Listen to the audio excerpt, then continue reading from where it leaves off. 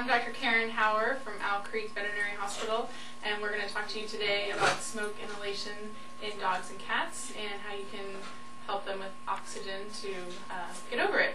So some signs you might see in a, in a pet that has smoke inhalation damage would be any signs of burns or singed hair. A lot of times their whiskers will be singed off, so that's an easy place to look.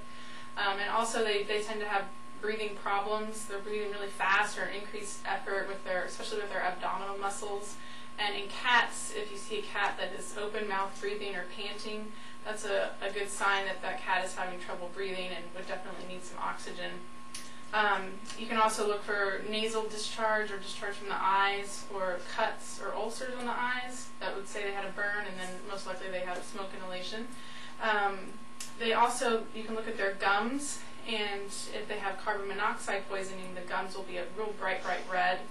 Um, you know, if they're weak, sometimes they'll be real shocky, um, and sometimes, unfortunately, you may find them in cardiac or respiratory arrest. So, but those are all things to look for, uh, and may aid you in determining to give them supplemental oxygen. Okay, this is our veterinary assistant Tammy, and this is her dog Haley, and we're going to show you how easy it is to deliver supplemental oxygen to a dog. Um, these are different uh, oxygen face masks that we use for animals. They come in a variety of sizes. Mostly you're probably just going to use the big size or maybe the smaller one for a cat or a small dog. And um, this is the adult bag valve mask that you guys already have. And all of these masks fit right on here real easily. And um, you just run the oxygen. You only need to run it about six liters at the most um, for the animals. And then to hook everything up, um, you can just put this on here first, and then you just slide the face mask over the dog and just hold it there, just like that, and that's really all there is to it.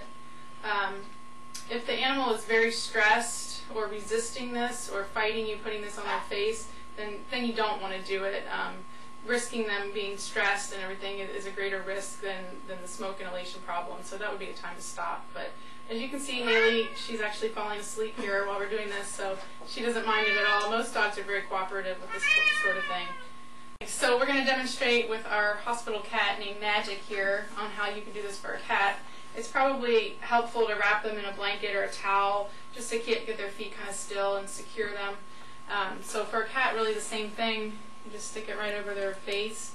Um, if it's a smaller head or, or they're real calm, you can actually stick their entire head in the mask, um, but I don't think magic will fit. So, but same thing, you just hold it right on here.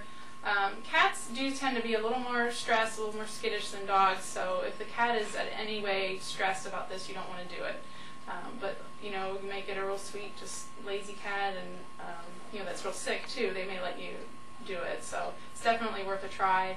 And um, it's, it's real easy, kind of the same thing. You can run the oxygen again at six liters. It doesn't really make a difference. Um, so that's a cat. Here at Owl Creek, we've heard that uh, the Virginia Beach Fire Department wants to equip uh, the area with face masks like this for the animals, and we think it's a great idea.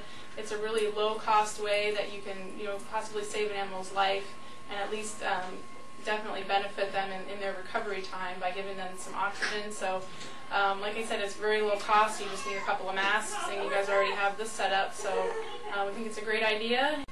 So we've all learned from Hurricane Katrina that uh, people's pets are very important to them and they want to have the best care possible, you know, whatever happens. So this is a wonderful way to really help take care of, of our pets in a situation, emergency situation like this. Um, it's very uh, inexpensive to uh, equip yourself with these masks and uh, deliver oxygen to an animal that could potentially save its life and definitely increase its recovery time.